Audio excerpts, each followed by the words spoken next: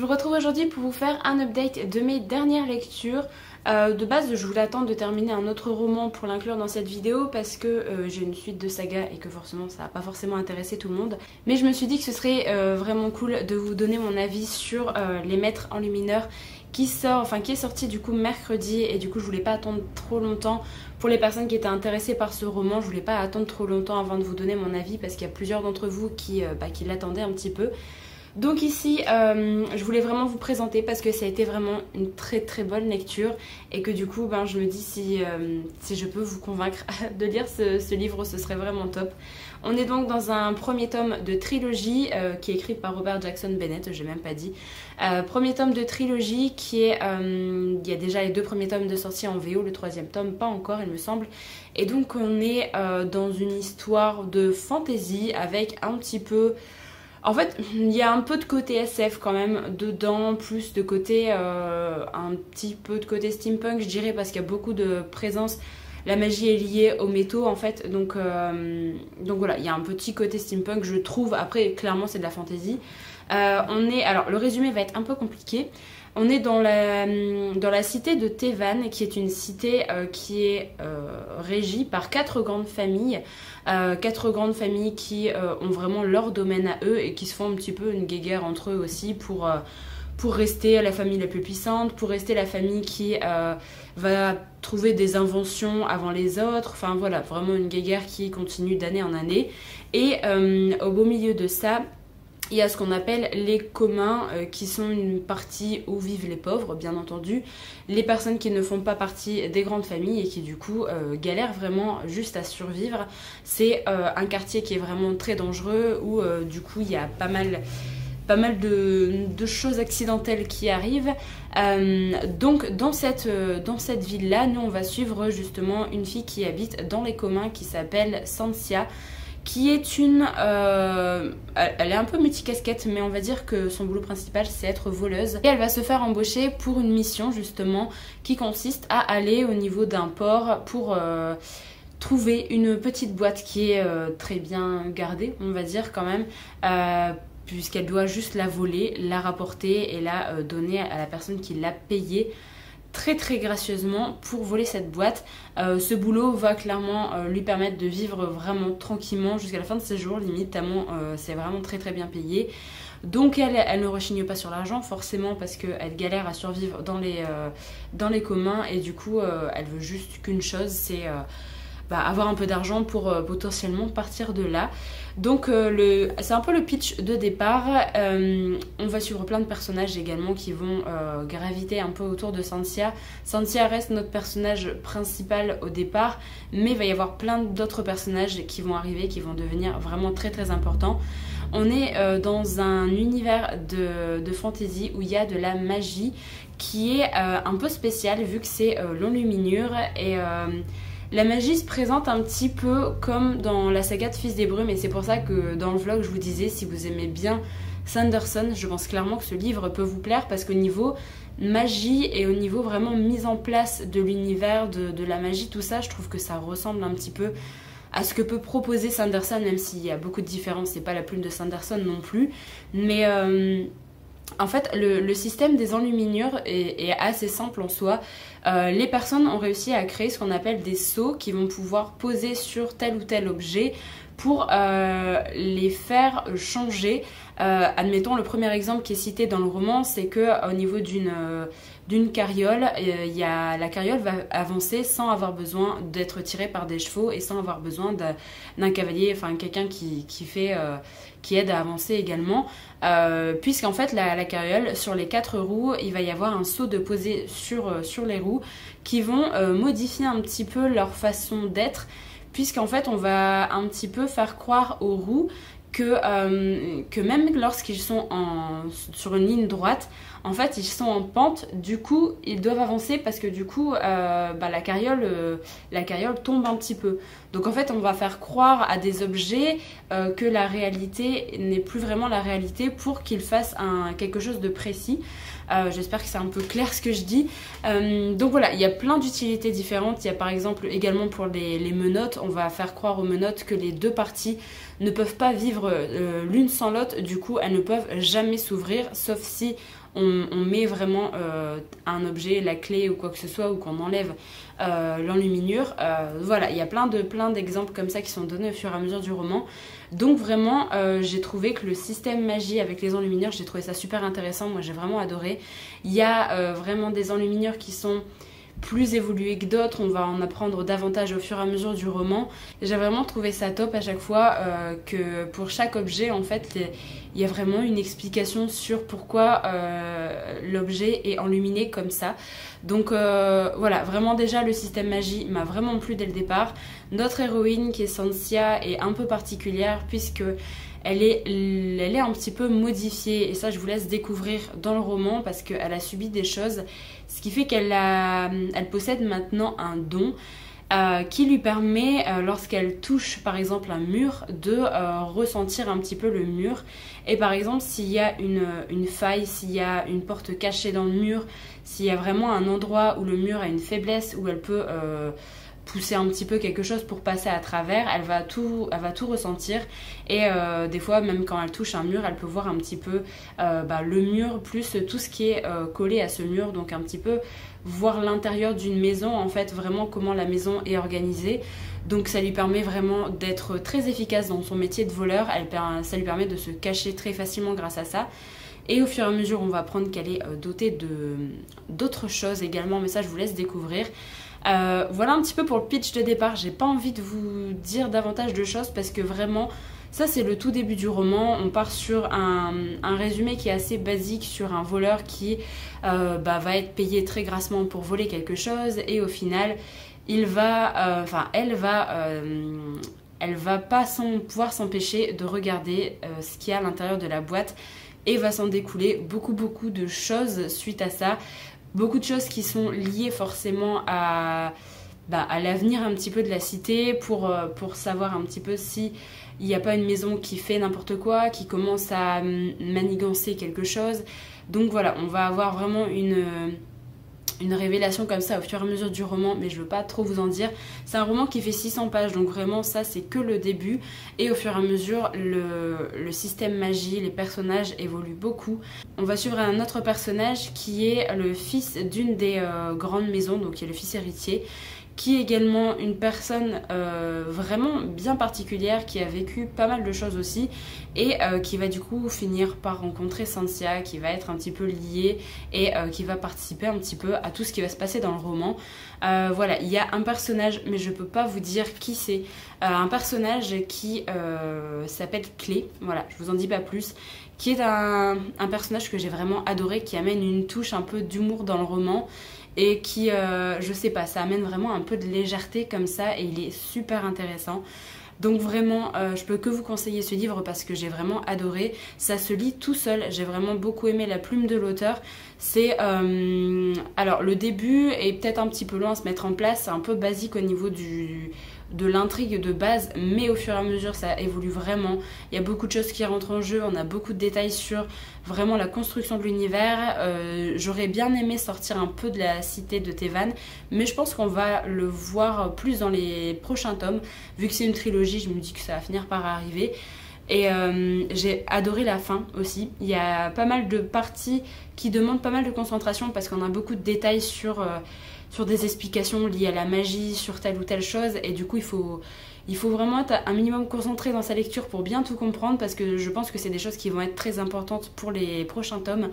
Donc euh, vraiment j'ai beaucoup aimé. La, fin est un petit peu compliquée, mais sinon c'est vraiment un système magique qui est facile à prendre en main.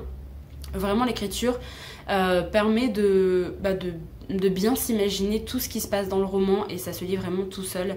J'ai pas eu un coup de cœur parce qu'il y a eu euh, des, petits, moments de latence en fait au milieu du roman, il y a eu un peu de coup de mou, mais euh, franchement c'est uniquement ça et euh, j'ai quand même passé un excellent moment de lecture. J'espère qu'on va voir le tome 2 dans pas si longtemps que ça parce que clairement j'ai adoré ce premier tome. Donc voilà, en plus avec une magnifique illustration. Moi personnellement j'aime vraiment beaucoup, comme je vous l'avais dit dans mon vlog, je préfère largement cette couverture à la couverture VO qui, qui je trouve fait assez terne. Donc, euh, donc voilà, n'hésitez pas si jamais vous êtes intéressé par ce titre, n'hésitez pas à me dire euh, quand vous l'aurez lu, à venir me faire un petit retour parce que clairement, je pense que ça peut plaire à pas mal d'entre vous, surtout à pas mal de personnes qui découvrent un peu Sanderson. Si vous avez lu la saga Fils des Brumes, je pense que vous devriez laisser sa chance à ce roman parce que clairement... Euh, bah c'est pas pareil, enfin, je veux pas dire que c'est pareil, mais vraiment il y a un petit air avec le système magique comme ça. Moi personnellement ça ça m'a fait penser un petit peu à, Fils des Brumes juste par rapport aux métaux et à la lombinure. Je me suis dit, ah, ça rappelle un petit peu. Mais euh, ça a vraiment son, son, univers bien propre. Et, euh, mais je pense que clairement, ça peut plaire à des, à des lecteurs de Sanderson. Donc euh, voilà. J'ai ensuite lu la préquelle de La Roue du Temps, qui est Nouveau Printemps, donc de Robert Jordan. suite au live qu'a fait Plume et Chimère et Rémi sur Insta. En fait, ils ont parlé un petit peu de La Roue du Temps. Et à ce moment-là, je me suis dit oh j'ai bien envie de retourner dans cet univers, mais j'avais pas le tome 7 sous la main, mais j'avais la préquelle et je me suis dit, vas-y, c'est bon, je vais, euh, je vais la lire, parce que ça, ça me donnait trop envie de retourner dans l'univers de la roue du temps. Donc bah, maintenant c'est chose faite, c'est un livre que hum, je, je savais pas trop quand lire de base, et plusieurs personnes m'avaient dit de lire ce livre après au moins avoir lu le tome 5. Je comprends pourquoi maintenant, euh, après clairement vous pouvez quand même lire ce livre, même si vous n'êtes pas arrivé au tome 5, je trouve. Euh, je pense qu'il faut au moins avoir l'entrée dans l'univers, donc peut-être lire le premier, voire le deuxième tome, pour vraiment comprendre euh, l'univers de la roue du temps et vraiment avoir un peu de, de, base par rapport aux personnages qui sont présents dans cette saga. Mais c'est vrai qu'après euh, le tome 5, du coup, forcément, ça fait... Je sais pas, c'est vrai que c'est un bon moment pour le lire. Moi du coup je l'ai lu après le sixième tome, donc euh, voilà. C'est parce que je l'avais sous la main, sinon j'aurais lu le septième tome et je pense que j'aurais attendu avant de le lire. Mais euh, comme j'avais très envie de retourner dans l'univers, et eh ben je me suis dit que c'était euh, l'occasion. On est donc ici dans, un, dans le préquel de la saga qui va suivre le personnage de Moiraine, qui est un personnage qu'on voit dès le premier tome de la saga, donc je peux vous dire un petit peu de choses sur elle, qui est donc une Aes Sedai, qui est une femme très importante qui va venir justement euh, à Deux-Rivières au tout début du premier tome pour euh, rencontrer ben, pour rencontrer un peu les garçons, pour rencontrer Rand, Matt et Perrine, pour, euh, savoir un petit peu ben, quel, personnage et quel, quel garçon est doté de certains dons, quel garçon est lié un petit peu à la roue du temps.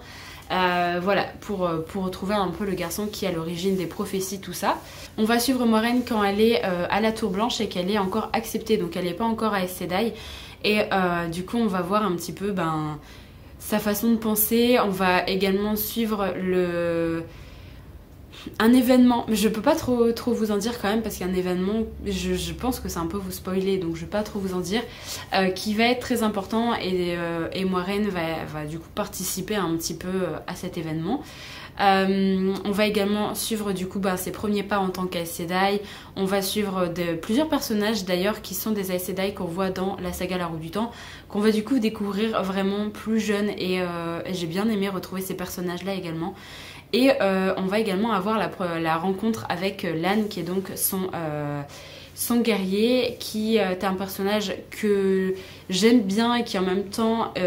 en fait, c'est un peu comme Moiraine. J'ai du mal à, accepter, enfin à accepter, à aimer Moiraine et Lan parce que je sais pas, je l'ai trouvé très froid au début de la saga La Roue du Temps et du coup avec ce tome là, ça permet d'avoir des détails sur leurs personnages, ça permet vraiment d'avoir un peu plus d'affection sur euh, pourquoi ils sont comme ça en fait euh, dans, dans, les premiers tomes de la roue du temps.